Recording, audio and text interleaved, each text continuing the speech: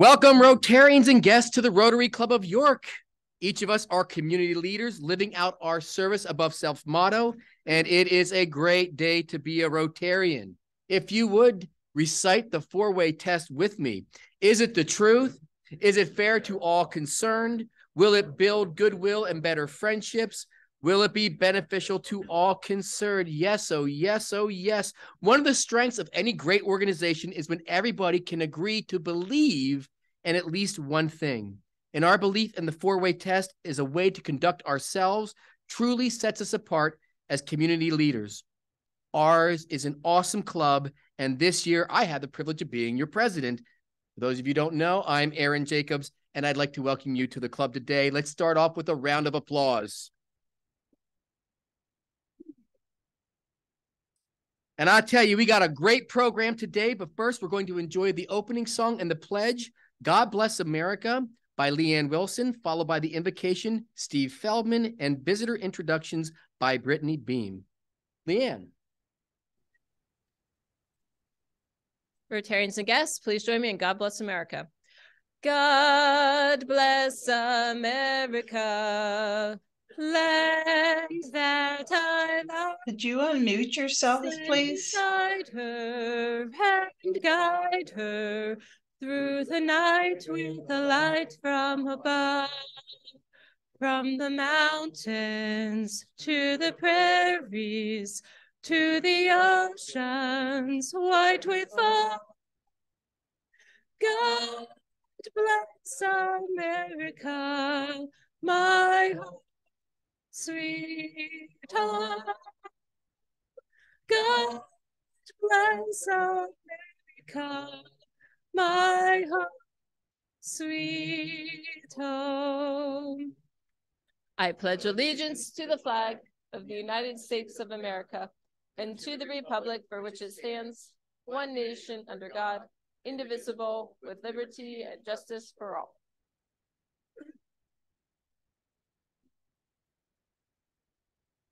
Please join me in a word of prayer. O Lord of the universe, you know from our many conversations that I am a profound lover of history. And while I don't claim to be the world's greatest historian, I do believe that an understanding of history helps us to understand how we got where we are and gives us a glimpse of where we might be going. We are grateful for our speaker today, and ask your blessing on him as he works to make history more of a teacher for his audiences. Help us all to broaden our understanding and to never be afraid to examine aspects of our life together that are uncomfortable or different from our experience. Or, as religious historian Justo Gonzalez puts it, a person wearing tinted glasses can avoid the conclusion that the entire world is tinted only by being conscious of the glasses themselves. Be with this Rotary Club in its time together and in our going back out into our community. Fill us with gratitude for our opportunities and for the work of those around us, including those who served us our, our meal. Lead us to serve, to lead, and to care for our world, both immediate and distant, with truth mutual well being, fairness, and kindness toward all. Amen.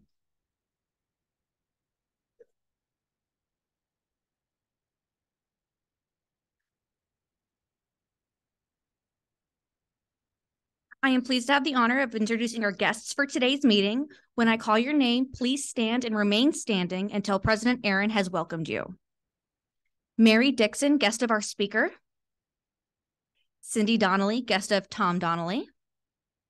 Kathy Brown, guest of Teresa Gregory. Madeline Torres Ocasio, guest of Gina Spangler.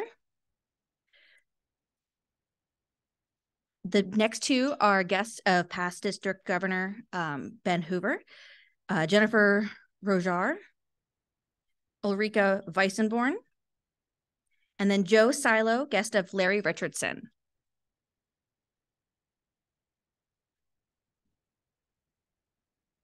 Thank you, Brittany. To our friends all the way from Germany, Guten Tag. Uh, it's great to see these guests today. And to these guests, I'm going to tell you a little secret that the rest of the members that don't want you to know. When they first came to this club, they were a guest just like you. And soon they became a member. And all 285 of these people just became a guest or were guests. That means, technically speaking, you have already taken the first step to being a member of our club. So do come back again and start thinking about being our 286th member. Rotarians, please join me in welcoming our guests. Thank you. Time for announcements. First and foremost, a foretaste of the feast to come on October 25th that's in a few weeks, our weekly meeting program will feature a panel of candidates who are running for York County Commissioner. The panel will be moderated by Rotarian Heather Warner, and past President Mike Summers is requesting that club members submit their questions to him in advance of this meeting so that we may present a wide range of questions to the candidates and make best use of our time. So please email Mike by no later than October 18th with the questions you'd like to ask. And if you don't have his email, download Club Runner like Communications has been telling you to do, right? Um, the following committees will meet on October 11th. The PPE committee will meet via Zoom. The fundraising committee will meet at 11:15 at the Country Club of York, and the Service Above Self committee will meet 1:15 at the Country Club of York. Also, uh, speaking of PPE, on October 11th, we will have our next CRDC plastic pickup for those of you who have been gathering your plastics. Please bring them to recycle uh, with the volunteers before our meeting in the CCY parking lot down below. On to the President's Challenge. Is Jen here? Jen is here. So, to remind you, we've been doing this for a while now. The President's Challenge is a way for committees to inform you, promote, and solicit and recruit new members and ideas. Um, my challenge, though, to you isn't to the committee, but my challenge is to you to consider joining a new committee or an additional committee and bringing your ideas so we can grow the service of this club.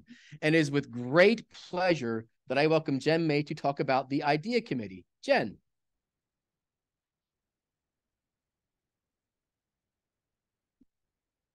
Thank you, Aaron. see if it'd be better with without. It's better. Okay. Good afternoon. Um, my name is Jen May. I am co-chair of the IDEA Committee. And as per our charge, the purpose of the IDEA Committee is to advise officers of the Rotary Club of York on matters pertaining to inclusion, diversity, equity, and accessibility. Based on survey feedback, our primary tasks in the past two years have been aligned with the goal of making this club more welcoming. And if you're sitting there right now thinking to yourself, I feel totally welcome here. I've never felt unwelcome. Perhaps you should join our club and you can help us make other people feel more welcome. Um, this is just a glimpse into what we have accomplished in the past two years. We have recommended the mentorship program to the membership committee to ensure that new Rotarians are supported by personally acclimating them to the club over a span of three months. We have suggested speakers to the program committee that showcase diversity based or diversity owned businesses. We have organized acknowledgement of significant days and months that celebrate diversity and inclusion, such as International Women's Day and Pride Month. And while volunteering is not our primary goal, we believe that it is an unwritten charge for most committees. And so we work with the Cornerstone Cleanup, the Lebanon Cemetery, and the Three Kings celebration in this past year. Moving forward, our goal is to continue to make all feel welcome at the Rotary Club of York. Whether you have been a Rotarian for 40 years, whether you're brand new, if you identify as white, Black, Hispanic, gay, straight, socioeconomically advantaged, or disadvantaged. We are a group of 285 civically minded professionals who have personally and in smaller committees made great contributions to our local community and to the world. Imagine what this club could accomplish if we worked more cohesively, with the four way test as the foundation of all that we do. If this concept speaks to you, I encourage you to join our committee. And if you don't want to join the committee, then we welcome you to volunteer with us this upcoming year, showing the citizens of York that our club is a welcoming place to anyone who puts service above self. One of our upcoming service projects uh, is the Three Kings event. Three Kings Day is a Hispanic tradition that marks the 12th day of Christmas. The York County Hispanic Coalition holds an event every January. This year, we will collect new toys for ages birth through 12 years and monetary donations starting next week, October 11th, and running through November 1st. In addition, put this on your calendars, we will help and volunteer at the event on January 12th and 13th. And we would love to have individuals from various committees volunteer with us. Um, if you would like to know more about the committee, please reach out to one of our many committee members. If you are on the IDEA committee, could you please stand so everybody knows who they can come to?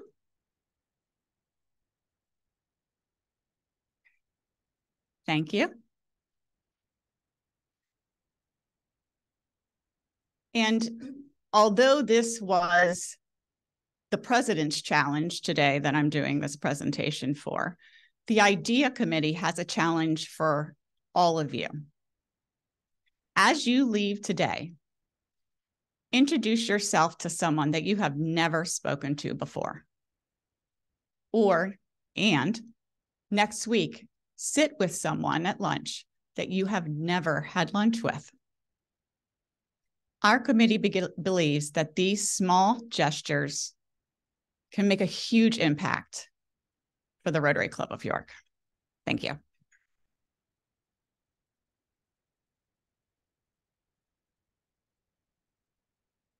Thank you, Jen and Idea. Jen, I have a question. How about how many members are on your committee? Approximately. Uh, 18 or so. That's a large committee. Thank you, Jen. The reason why I bring that up, in, in the world of Rotary, that's bigger than some Rotary clubs. This is also one of our newest committees, which I think speaks to our club and the community, our investment in diversity and being welcomed to all who want to join or be a part of Rotary. And that happened under Calvin and Jen's leadership, and they deserve a round of applause. Thank you. It's time for new members to be introduced to the club, and I'd like to invite past President Josh George and our new members to the podium. Past President Josh.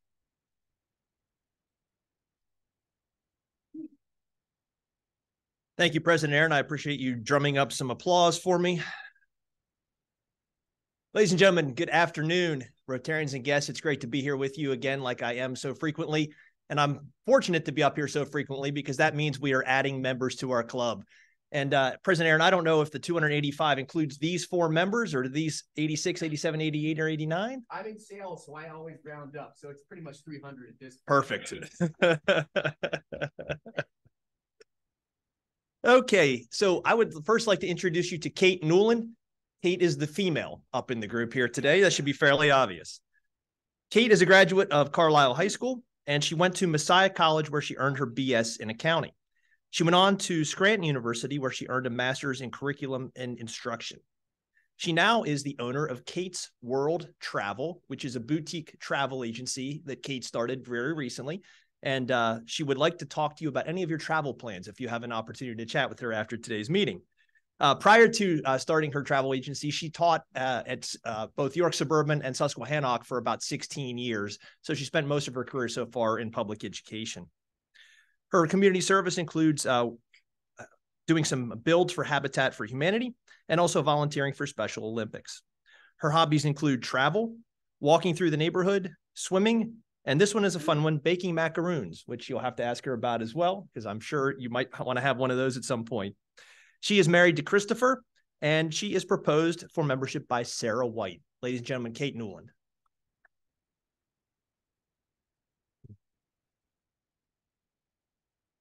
And moving down the chain that way, next is Zach Claghorn. Zach is a graduate of William Penn Senior High School. He went to York College, where he earned his Bachelor of Arts in Political Science, and uh, stayed at York College, where he earned a Master's in Public Policy and Administration. He is the Executive Director of Resource York. His community service includes uh, he went through the leadership training program at Leadership York. Thank you, Wilda. He was a leader for the YCOSP mentorship program while at York College. He is a board member of the York Opioid Collaborative, and he is a board member of the Advantage program here in York. And he also served as a drumline instructor for the Bearcat Marching Band. His hobbies include singing, acting, dancing, piano, songwriting, and this one I want to see rapping. Okay, after the meeting, after the meeting. and Zach is proposed by President Aaron Jacobs, Zach Claghorn.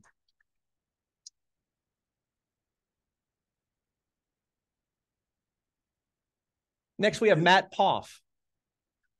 Matt is a graduate of the Christian School of York and earned his Bachelor of Arts in Political Science from Penn State and then an MBA from York College. Matt is the CFO of the York Water Company. And if you're like me, you've probably seen Matt at the Economics Club breakfast uh, for the last, oh, I don't know, 25 years or so. I don't know that, but we've gotten to know each other through those Economics Club breakfasts over the years. It's great to have you here at Rotary at lunchtime as well. Matt's community service includes uh, he is a board member for the York County Community Foundation. He serves on the finance committee at Leg Up Farm. He also serves on the finance committee for the York County Economic Alliance, and he is advisory board member for the Penn State York Graham Center. His hobbies include spending time with family and all Penn State sports. He's married to Amy, and they have two kids Benjamin, who is 19, and Ella, who is 17. And it may come as no surprise that he is proposed by JT Hand. Ladies and gentlemen, Matt Poff.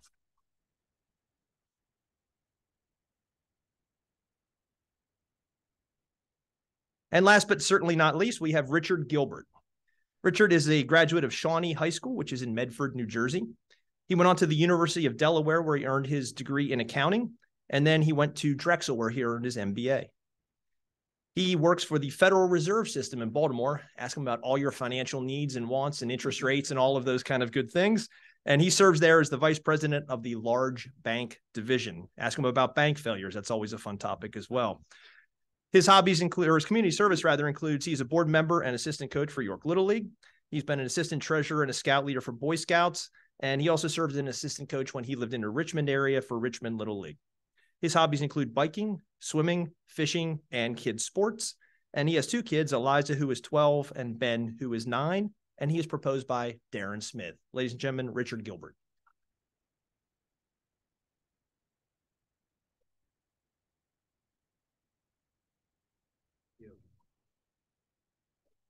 Thank you, past President Josh George. So I said in the introductions that each one of these new members started this club by coming as a guest. See, it's not a coincidence. I'm not crazy. Well, I am crazy, but um, I'm so pleased that you have taken the next step to be a member of our club. And I bet you'll be glad that you are too. And we hope as new members, you bring us new ideas, new energy, and more leadership muscle for our community. Now, Jen brought up a new challenge, and I agree with this that we should take the time to get to know them. They took the first step to become the member, and now it's up to the rest of you to help make sure that they stay. And we'll start by welcoming them with a round of applause. Thank you. Now it's time for the program, and I'm telling you it's a good one. I'd like to bring up Tom Donnelly to introduce our speaker today. Tom.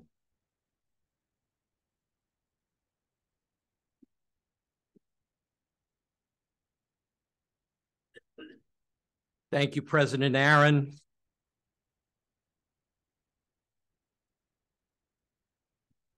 John Dickson and I were college teammates. We played on the Princeton soccer team. And John's nickname was Big Dog. Hi, Big Dog. He would go after a loose soccer ball like a dog after a bone. He was that tough and we're both tall guys. John, just stand up for a second. You'll they'll get to see you then. But we were the tallest fullbacks in the Ivy League. Our job was to stop the other team from scoring, and um, so we won most of the head balls. It was my feet I had some problems with, but you'll see in a few minutes. John has a good head on his shoulders, so. Um, But the players trying to score against us were these shifty, speedy, sneaky forwards on the other team.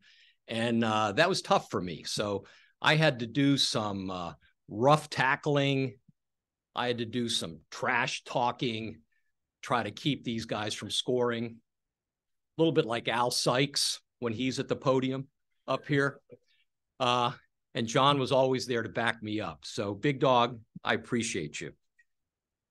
And I really want to uh, welcome Mary Boyle, Boyle Dickson to the program today, John's wife. We're delighted. Cindy and I are just having a great time being able to visit with them for a few days. So we're looking forward to getting them back to York, PA in the future. So welcome, Mary.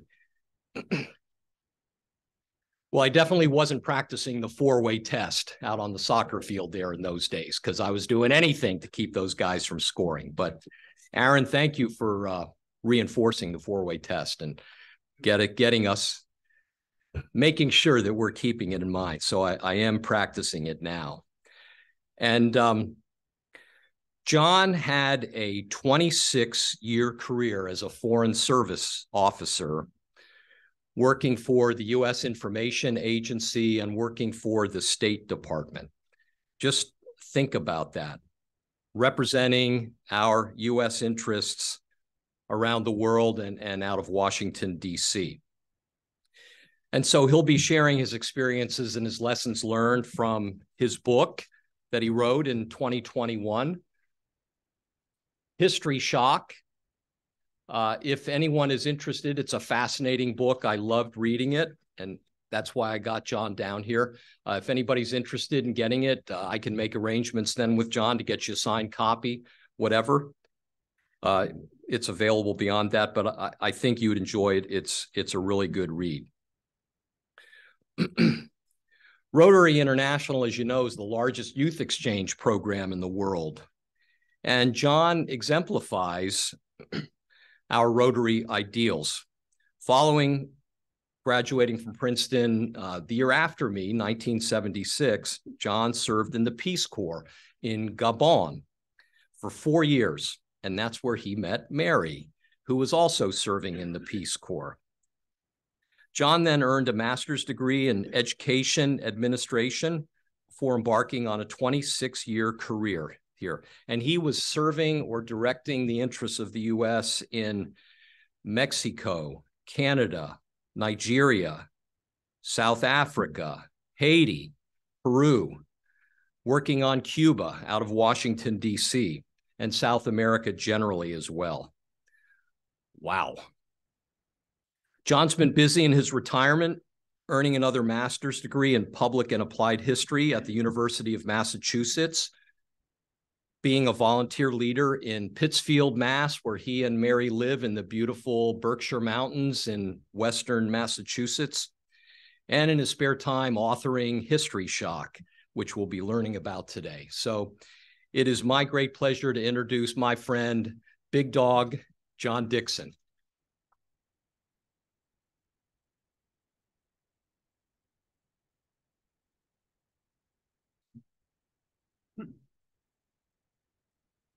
Uh, good afternoon, everybody. You had a, a good meal and maybe a little food for thought now afterwards. I hope it doesn't create indigestion on your part, but uh, I do appreciate just as, as a starting point, the prayer we had, because it really goes to the, the nub of things I want to say. I, I'm so pleased to be here at Rotary. Can everybody hear me? Okay, good. I'm so pleased to be here at Rotary. I ran into Rotary constantly when I was overseas. Uh, I saw the Rotary Youth Exchange, Peace Corps and Rotary have pro, uh, collaborative programs as well. Uh, and then in Ottawa, my last overseas, I call Ottawa overseas, but it's not really overseas, is it? my last uh, foreign assignment uh, in Ottawa, I was a member of of the Rotary there. Um, you do great work, and we've heard a, a, lot of it today. I'm sure, and I know there's a lot more uh, good citizens. And when I was growing up, that was the highest compliment in my household. My father would say, "He's a good citizen." I knew that person uh, was uh, uh, had the high. My father had the highest respect uh, for that person, someone who gave to the community, who cared about other people, and who engaged in civil dialogue. And I think that's what, uh, beyond the four, uh, the foundation of the four goals that you have, that's that's been my experience with with Rotary along the way. What I thought I'd do is talk a little bit about my experiences as a diplomat and also uh, the evolution of how I came to see how important history was uh, in my own day-to-day work as a professional serving and representing uh, our country overseas. Um, and that's, I'd like to share a little bit of that with you. First of all, though, uh, I imagine some of you are probably saying, of course, history is important.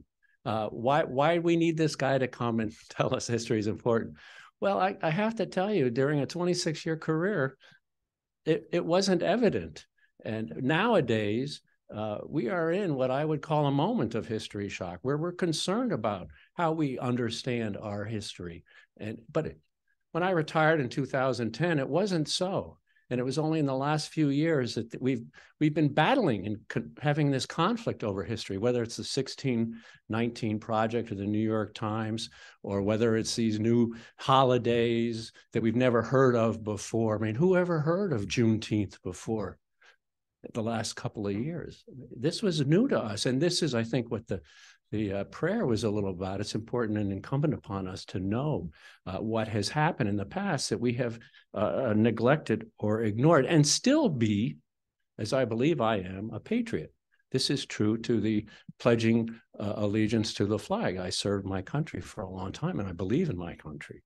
Um, I think, you know, one of my it was uh, i had been in the foreign service for 20 years and then went to mexico and i think there's no country in the world uh, that better perhaps serves the example of why of how we don't know our history uh, and, and i ran into it constantly uh, in mexico how they knew a history that was so different from what i knew and really quite frankly what i didn't know uh, I had a very small understanding of the U.S. relationship with Mexico before going there. Uh, but for the Mexicans, they wake up, I, I used to say, they wake up and look in the mirror, and what do they see? They see 1848. What do we see when we look in the mirror as an as a nation, as a collective nation? Is 1848 anywhere near that? It's not even close. As I did a little research for this book, I came upon a survey done by a group out of San Diego. Um, they traveled the United States of what the old boundary was before 1848. And as they were taking this survey of these lines, they came across people nobody they came across knew. This you used to be living in Mexico before 1848. They had never heard of it. Um, and so, you know, they knew that all of present day Arizona, California, Nevada, New Mexico, Utah, Texas, more than half of Colorado, and parts of Wyoming, Kansas, and Oklahoma, that had been part of Mexico at some point. Uh, and so this is what they see when they see an American, quite frankly. Um, and this is what we have to bump up against as we interact with our neighbors to the south. This is what they see. And they have uh, developed a foreign policy, they have developed laws that really are very protective of the rest of their territory and the rest of what the, uh, their identity, uh, quite frankly. Um,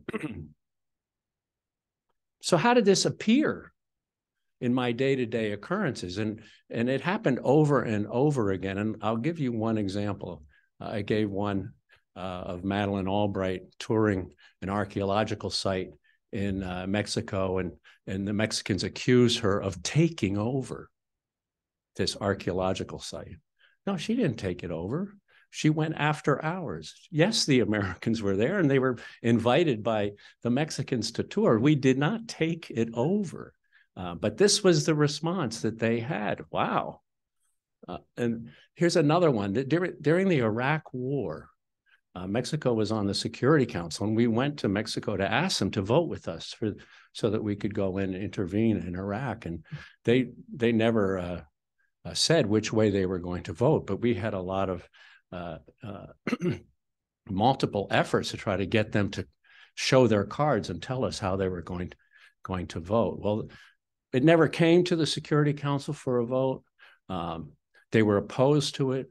Be- and why were they opposed to it? They were opposed to it because of 1848. They didn't like did not like countries intervening in other countries' affairs militarily, and that happened to them. And this is their uh, fundamental premise. okay, so I get that. Uh, but during the war, there was a Mexican soldier who died fighting for us. We invited Mexicans uh, to uh, Mexican citizens to come and join us and private citizens, and we promised them a citizenship after if they fought with us. Well, there was a Mexican soldier who died. And he was from a state, a Guanajuato state, and his family wanted full military honor funeral. He died. Uh, and so we earned that. He earned that. And they wanted it in, on Mexican territory.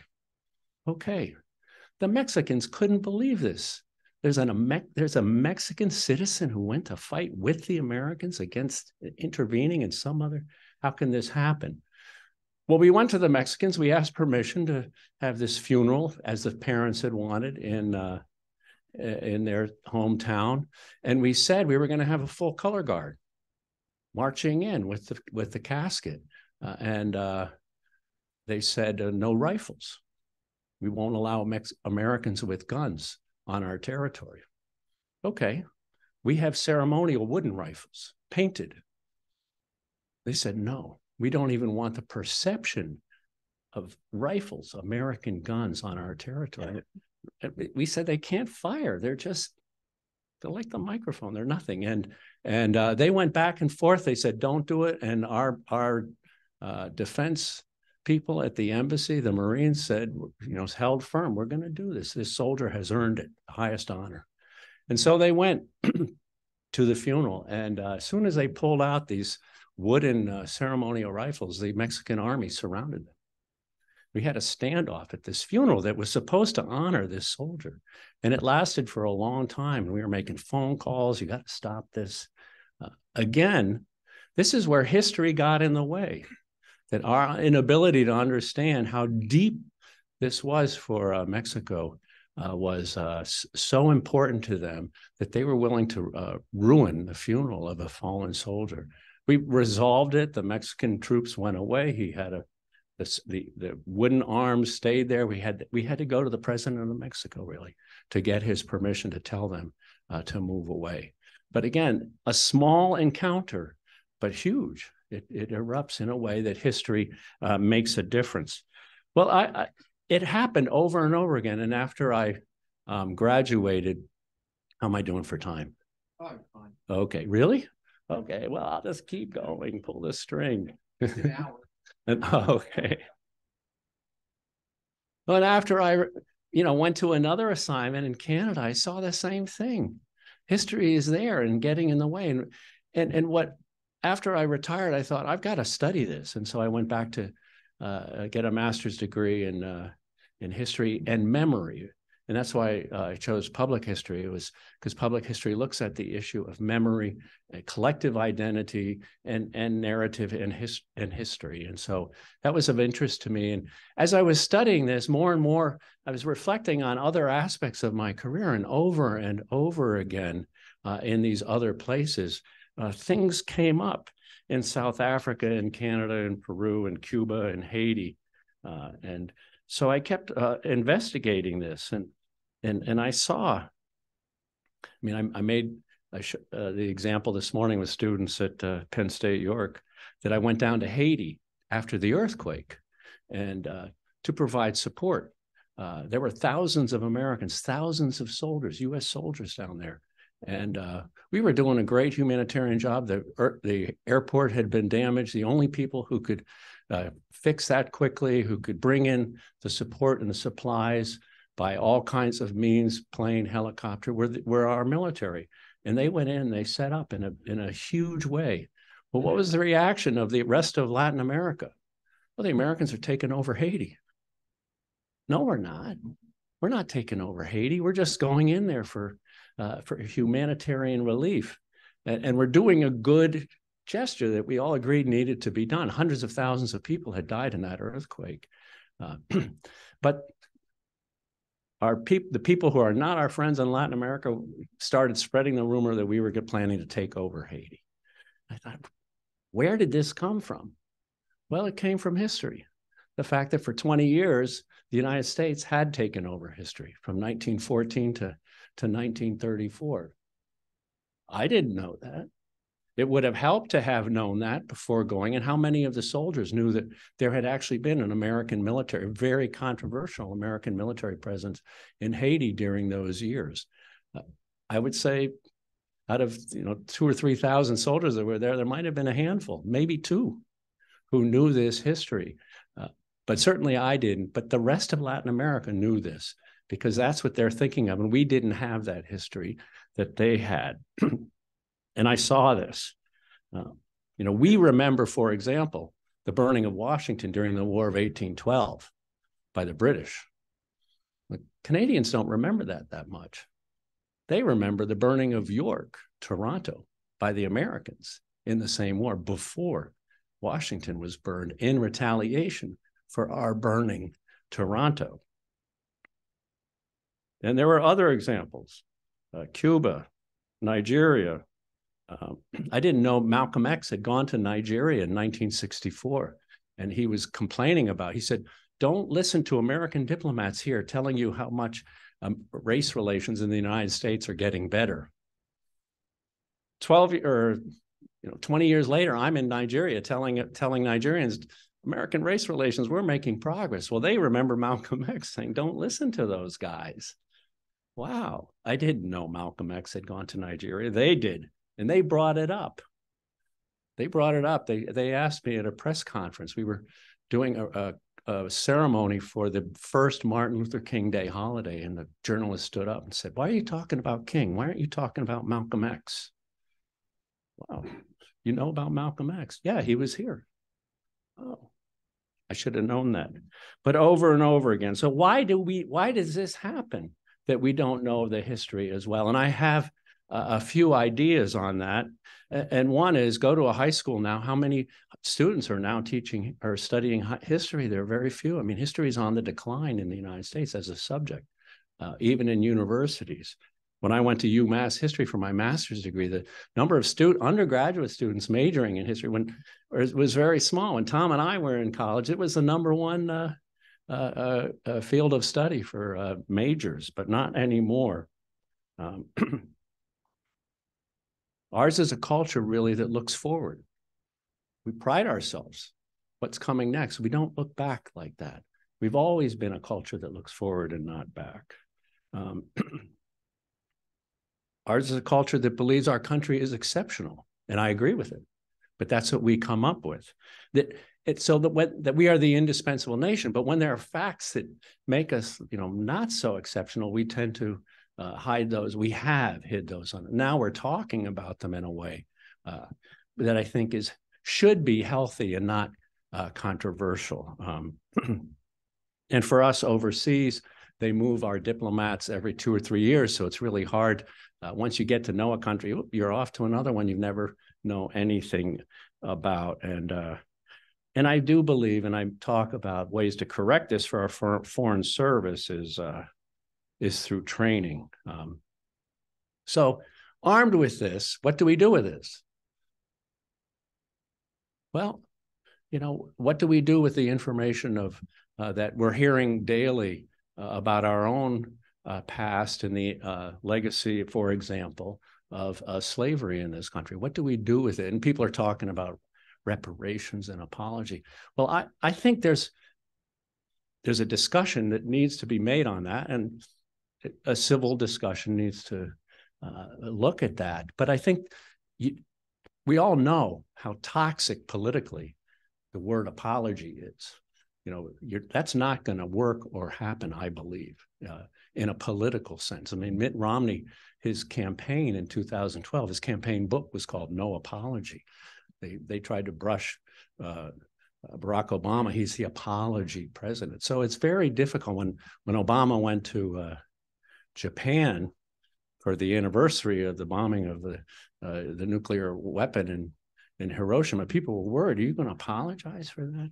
No. All he did was lay a wreath And when Pr- Prime Minister Abe came to the United States, he laid a wreath at, it was a gesture, it was an important gesture.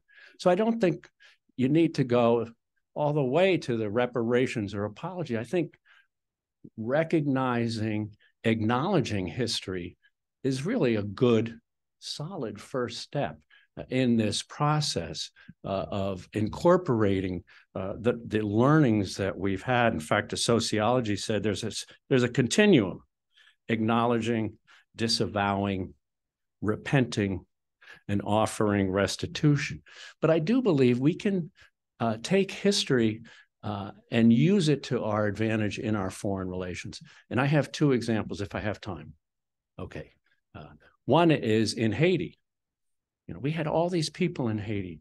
We had every government agency down there, health and human services, education, and they were all trying to save lives. Then one day in my office, I get a call from the Smithsonian. They want to go down because there was artwork and, and historic archives in Haiti that were destroyed. And what are you kidding? They're saving lives. People, there are hundreds of thousands of people need shelter. We we we can't focus on that. And and they said you have to focus on that. And you have to focus on that, they said, because it's important to Haiti. Oh. And so after weeks of arguing among the people in the embassy in Haiti, uh, they said, we're going. I don't care. Uh, we're not a government agency. We're a quasi independent agency. We are going down. They set up training. There are beautiful art murals, historic cathedrals were destroyed. The archives were destroyed in Haiti. And they set up a, a program down there to preserve uh, Haiti's historic artifacts. Uh, and it meant a lot to Haiti. And you know why I think it meant a lot? Because I remembered 1812. What's one thing we remember about the War of 1812? Dolley Madison saving the picture of George Washington. So imagine for the Haitians how important it was to save what was important to them.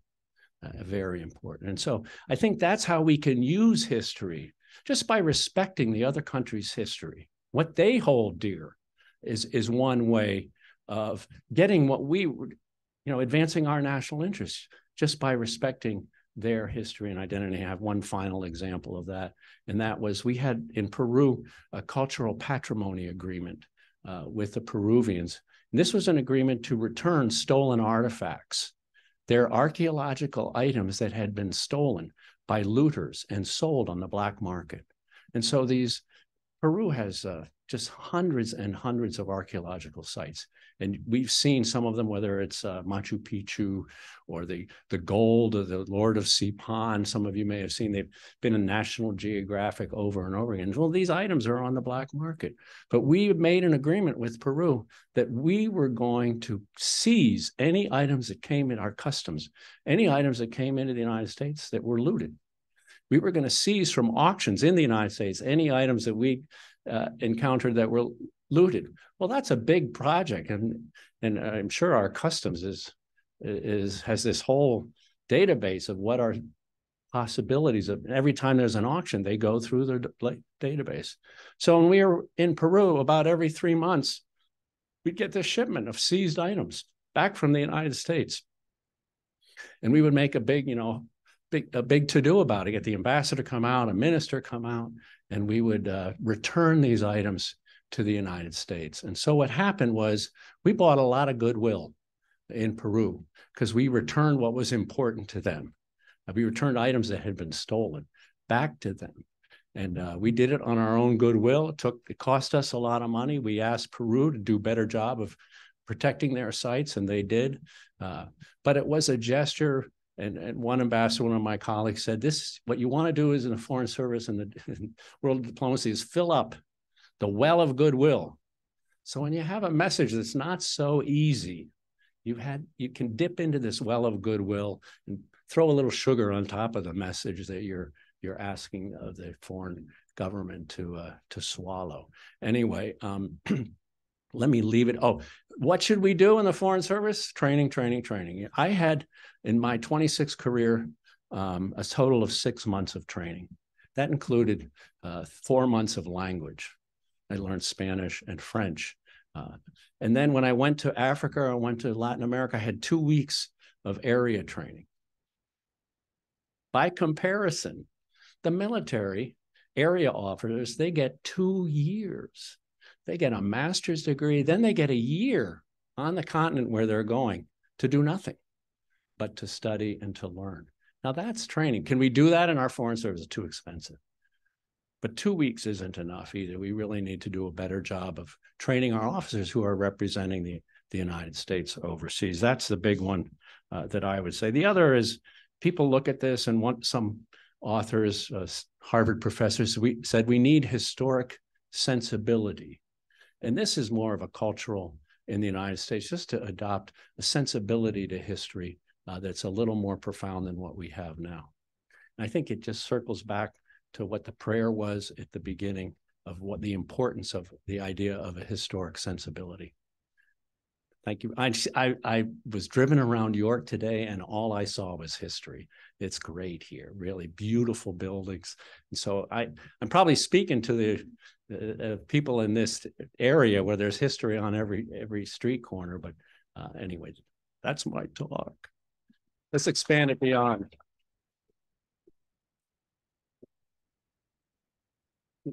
Is is there time for uh okay. I can no, I can't sing a song. My my wife will walk out. okay. So you met Mary in Gabon, and Gabon's been in the news. Uh, they had a coup there August 30th. So I read that headline and it's like, wow, that's a coup. That's an unstable country. That's a bad thing.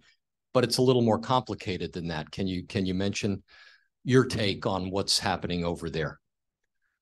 So unfortunately, I'm of the age where I am history. I'm living history now. And uh, we were both in Gabon when there was a president uh, who was uh, had been we we were there in the late 70s this young man at age 30 became president. His name was Omar Bongo. And it's a small country, it's a rich country in oil producing, but other minerals and t- timber as well. Um, and he served for a long time. When he died, he passed along uh, his presidency to his son. Uh, and so from 1967 until August, there was one family in charge of Gabon. He was already uh, grooming his son to be the next president. And and they have elections, and and the coup happened uh, three hours after the election results uh, were were announced, saying that this president, this family, this son of the first uh, president, was reelected. Well, my wife um, uh, participated in an election when she was a Peace Corps volunteer in Gabon. Uh, she was at home preparing her uh, lessons for her school the next day and somebody, a policeman knocked on her door and they said, come on, you got to go vote. Me, I'm an American. No, you're going to vote. And so they took her to the uh, uh, elect election uh, polling place. They handed her a piece of paper, folded it up, and said, "Go put it in that box." And he won. He he, he won. He, he I think he had 110 percent of the vote. So there's a democracy there. There was voting. It, people complained about the last two or three elections in a row about fraud. We gave money to that president to run a fair election this past year to four African countries who were having elections. And by all accounts, people were ready and already talking about a stolen election, even three hours afterwards.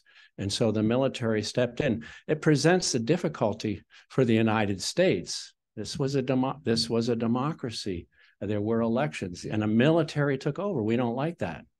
But what kind of election had it been? And I think uh, we're now at the point um, where we're it's a wait and see. We've read about other coups further north, uh, uh, in along what they call the Sahel, the the southern Sahara, and where are ba- where they are battling terrorists.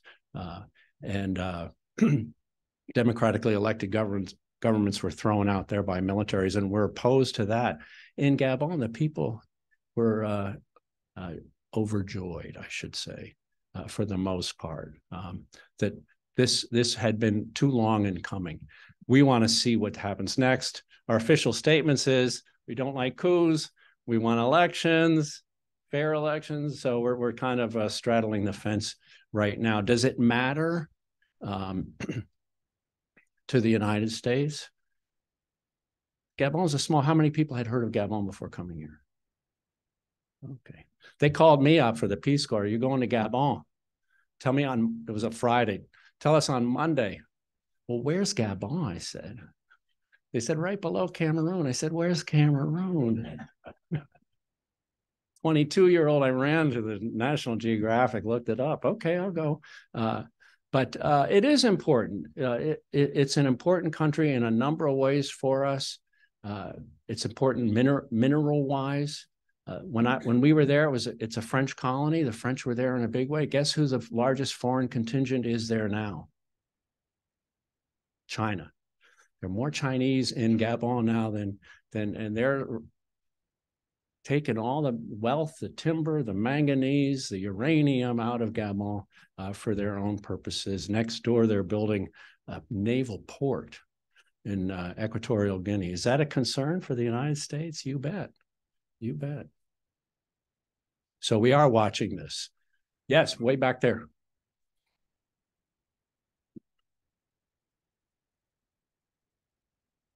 You spoke, thank you for your uh, remarks today. You spoke both to the uh, lack of adequate training uh, in the uh, State Department and the tradition uh, of moving people every three years. That seems an odd contradiction. Is there a reason for that pattern? And uh, could you speak to it? You know, the, the reason is there's something about the American character where we develop clientitis and we begin to uh, take on the characteristics of advocating for Mexico when we should really be advocating uh, for the United States. I think that's one of the major reasons. Uh, they want us to be generalists. Uh, they don't want us to be specialists. Now, there are a few exceptions to that. Uh, people who've been to Japan, Japan is such a di difficult language and culture to understand. They're willing to send people uh, away over and over again back to uh, Japan. And, and there are maybe a few other exceptions where people return to the countries where they've served. But um, I think that's the main the main reason. As a generalist, did it help me in Canada knowing his knowing Mexico? Absolutely. Our NAFTA partners are that helped a lot having that kind of cross fertilization. Did it help me in Canada, for example, knowing South Africa? Mm, maybe a little, but uh, they do want uh, people to serve in more than one area. Uh, way back, yeah.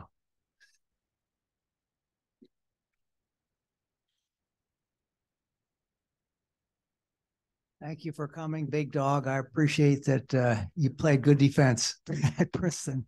Um, my question is, in your view, how do foreign countries view the United States and what we call or think that we are a free nation with democracy is uh, can you without spending 20 hours in a few minutes can you uh, give your opinion of the view of the united states in the eyes of foreigners did were you at Penn State York this morning? Because a student asked me that very same question, and it's a great question. Um, I had said to the students, well, what, why do we even have diplomats? We're representing the country, or what do diplomats do? And we do a number of things.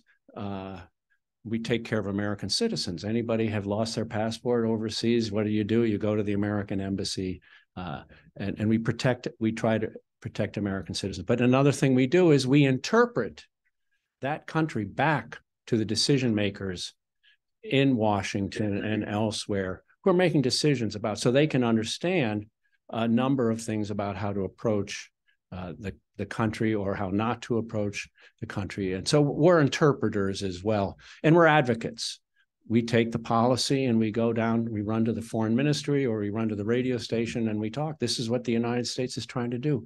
And I'll tell you, the, the word I used the most overseas was cooperation. We're looking for cooperation. We, we, we, you know, that's all we were after. We're not territory or anything. It's cooperation. We, we believe that there are many things in the world that uh, can't be resolved by the United States alone. We have to work with, with uh, other countries. Um, so as we're doing this overseas, guess what? Every embassy in Washington is doing the same thing back to their own country. Imagine the cable going back to Kiev or to Moscow uh, from the from those embassies to their departments of foreign affairs this morning, or to Pretoria or to Mexico City. What are they saying in this cable? In their cables back? And I, uh, I, I can tell you what the headline is that subject dysfunction. America can't get anything done. Really? We can get stuff done. It take, it's hard. It's not easy. But I really feel sorry for a foreign diplomat in Washington trying to figure out where the power centers are. Who do I go to to make my case? Any, anyway, I think they're they're looking at what does this mean for who's who's applauding in the world right now over what happened last night? The guy in Moscow is applauding. He's very happy. Yeah. In my opinion. In uh, doing your research and writing your book, um, to what extent, how would you characterize the reception at the State Department for your recommendations about more in depth training? Uh, Is anybody did, listening? I did. I've done three or four different presentations for State Department officers. One at the State Department Library, one with an associate at the training center, another uh, with a couple of others. And, and, and one of the responses is this is a call to arms. We have to do a better job training. Uh, and, and that's the kind of response I had wanted uh, to get out of. Now, have they done anything? I'm not uh, sure yet. They have not contacted me to come help. I'm not probably the person to do that, but uh, I would think training is going to be the biggest you know, I, I, I did. I want to say this: that I had one person stand up one in one audience and said, "You're a traitor." Wow, it wasn't a State Department employee. But what do you mean? He says, "Look, look at what you're saying. Things against the United States." And, and I said, uh, "You know, I spent 26 years advocating for the United States overseas, and I'm not a traitor. I'm a public servant, and I'm a patriot." Uh, but I do believe it's important to know. It's important for me to have known. I wished I had known the history of these of our experiences uh, in these countries before I went into them, uh, and that would have helped me acknowledge. Okay, this happened. You know, Obama acknowledged, and, and I'm not. I don't want to be political, but uh, he went to one of his first uh, international events was a uh, was a summit meeting in Trinidad, the Summit of the Americas. And we were so afraid. Hugo Chavez, a former president who a thorn in our side from Venezuela, he, he was going to hijack this meeting. He came running up to Obama with a book. And the book was this, uh, it was called Open Veins. And it was how the United States has bled Latin America dry. So there it is. That's the public perception of Obama's first uh, multilateral summit. And later on, the president of Nicaragua started went into this long diatribe of everything you've done in Latin America, and Obama uh, diffused it with humor. He says, "You can't blame me for things that happened before I was born. Let's look forward. Let's not be trapped by the past." Well, let's not be trapped by the past, but let's remember it too. Let's look forward, but let's remember the past to help us look forward.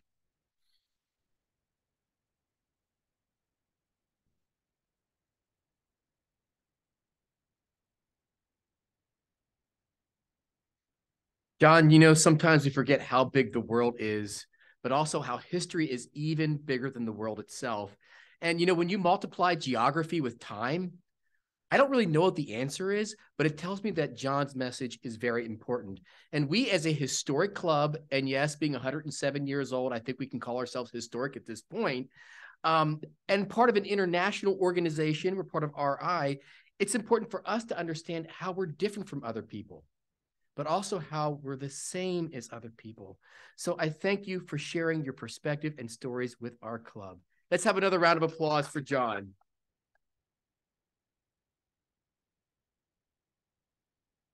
In honor of John's program, he assigned the book platelet Mae Among the Stars by Roda Ahmed, or uh, yes, Ahmed, and it'll be donated to the Devers Elementary School in New York City, along with the bookmark by the students at Creative York. Thank you, Lynn Bergdahl. And if you thought that was a great program, and it was, wait till you hear what we have for next week. We're going to hear from Peter Botros, of the Shine Music Foundation, an organization right here in York that strives to provide music education to every student in need, develop their leadership and their self esteem, and build a community by unifying diverse groups of people through love and passion for music. With that, have an amazing Rotarian week. This meeting is adjourned.